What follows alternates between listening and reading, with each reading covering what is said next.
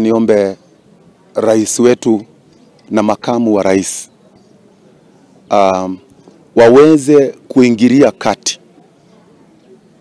waweze kuingilia kati shida ambayo ni crisis sahihi katika resettlement ya IDPs Kenya. Katika sheria ya IDP Resettlement Act iko na National Consultative Coordination Committee, kumaanisha ile Consultative Coordination Committee ambayo inastahili kuconsult all the other ministries wakati ambapo tunakuwa resettled, haiko.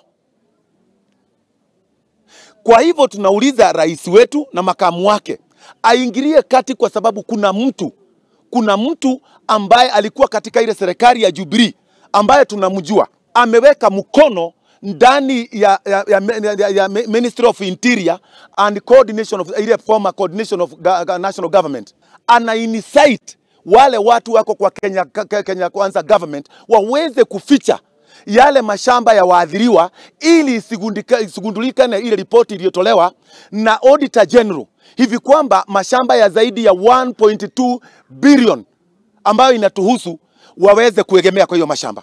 Tunaomba rais wetu, tunaomba deputy president na serikali ya Kenya Kwanza ituondolee wale watu, kwa sababu already the National Consultative Coordination Committee ilikuwa disbanded na ikawa gazetted.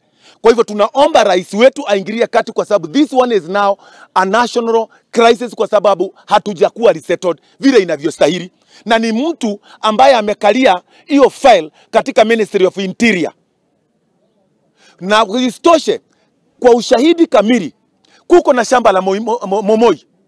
Hilo shamba tulipatiwa kitambo sana, subdivision haijafanywa. Toka hapo kuna Donga Farm iko Subukia shamba ambalo tulipatiwa na serikali na tukakamilishiwa na mpaka na mahakama. Mpaka wa leo hilo shamba limekaliwa na ili isifanyiwe subdivision. Tuko na shamba ingine Kongogeri, wameingiza siasa zingine kwa shamba ya Kongogeri wakiletaka mambo zingine, na hilo shamba, ukweli wa mambo ni shamba la watu wanaitwa squatter na IDPs. Lakini ningeomba rais na makamo wake ya kwamba wakati huu, kwa sababu hiyo jambo yeye ndiye alisema, na yeye kusema na kutenda, atutendee kama waathiriwa.